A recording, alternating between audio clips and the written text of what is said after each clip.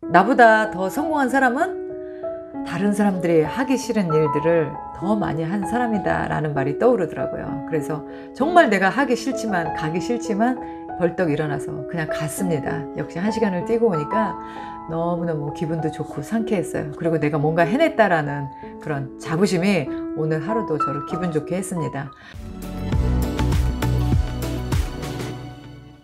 안녕하세요. 리즈입니다. 오늘 여러분들에게 말씀드릴 영상의 주제는요, 어, 치명적인 매력을 가진 사람입니다. 어떤 남녀 간에 있어서의 치명적인 매력이 아니고, 제가 말씀드리는 건 인간적으로 만났을 때, 어, 저 사람 뭐지? 라고 시선을 끄는, 그리고 마음에 남는 그런 매력을 가진 사람이에요. 우리가 이렇게 주변에 보면 그 사람만의 뭔가가 이렇게 있는, 그리고 그 사람이 굉장히 대단해 보이는 그런 사람이 있습니다. 그런 사람들은 남들이 쉽게 가질 수 없는 능력들을 가지고 있어요. 그런 능력은 시간과 노력과 땀을 흘린 그 노력의 결과를 갖고 있습니다. 우리가 쉽게 할 수 없는 것들이에요. 그러면 어떤 사람들이 이렇게 만났을 때, 어, 저 사람 뭐지? 나도 저 사람처럼 되고 싶다. 저 사람 어떻게 저렇게 됐지? 이렇게 배우고 또 관심이 가져지는 그런 사람인지 제가 만난 여러 사람들을 통해서 한번 경험을 말씀드려 볼게요. 어, 첫 번째는 언어를 잘하는 사람입니다. 특히 영어 잘하는 사람. 저 사람이 영어를 전혀 잘할 거라고 생각하지 않았는데 그 사람이 갑자기 유창한 영어를 할 때 대단해 보입니다. 그거는 결국 이제 공부하는 사람 또 자기 개발을 하는 사람일 수도 있는데 여튼 영어, 언어를 잘 구사하는 사람을 봤을 때 우리는 저 사람 왜 이렇게 영어를 잘해? 저 사람 대단한데? 이런 느낌이 듭니다. 이 언어 장애자로 살고 있는 이민자들 정말 많습니다. 어, 한국에 사시더라도 또 외국에 사시더라도 적어도 한 가지 언어 정도, 특히 영어는 내가 원하는 거를 말할 수 있는 그 정도의 영어 수준은 했으면 좋겠어요. 그리고 그것보다도 더 많이 어려운 영어를 잘하는 사람을 봤을 때 정말 매력을 느낍니다. 그리고 또 두 번째 치명적인 매력을 갖고 있는 사람은요, 몸을 잘 가꾼 사람입니다. 날씬하다? 살이 안 쪘다? 이런 의미가 아니라, 어, 운동과 식이요법을 통해서 자기 몸을 굉장히 건강하고 탄탄하게 만들어 놓은 사람이에요.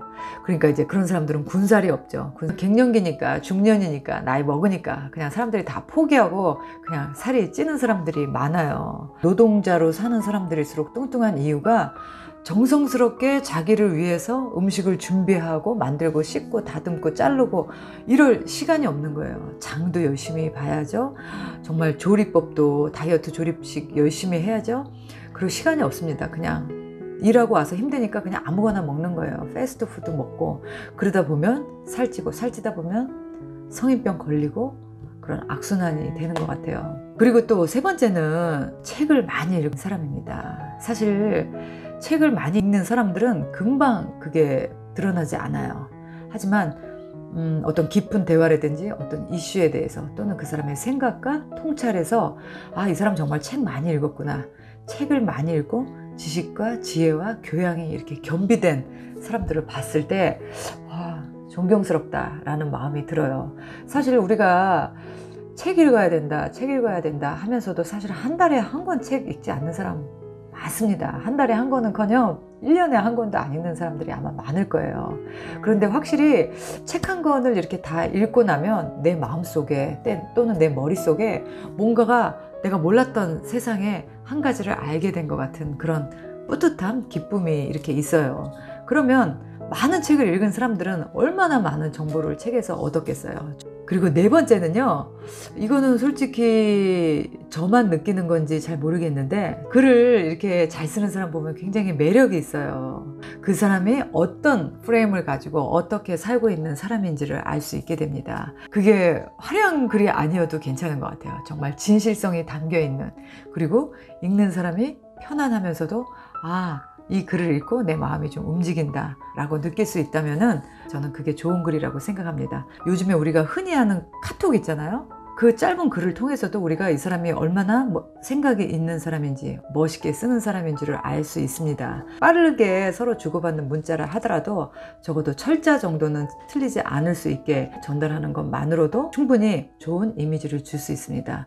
단 짧은 줄 한마디라도 두 번 읽어보고 반드시 의미가 있고 또 받는 사람이 기분 좋을 수 있는 그런 글을 썼으면 좋겠어요. 그리고 마지막 다섯 번째는 남 모르게 다른 사람들 모르게 선행을 하는 사람입니다.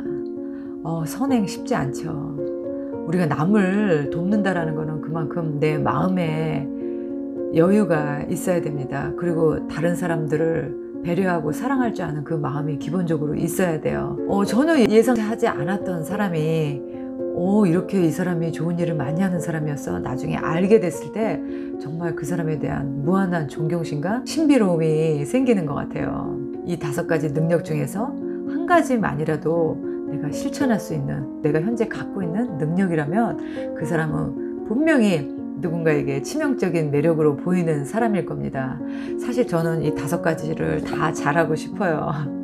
네, 욕심이겠지만 적어도 어, 한두 가지만이라도 저는 좀 되고 싶어요. 내가 그 무엇 한 가지라도 남들보다 다른 이런 특별한 능력을 갖고 있다는 것은 결국 어, 사람들이 하기 싫은 것, 내가 참아가며 이겨가며 견뎌낸 결과가 아닐까 싶어요.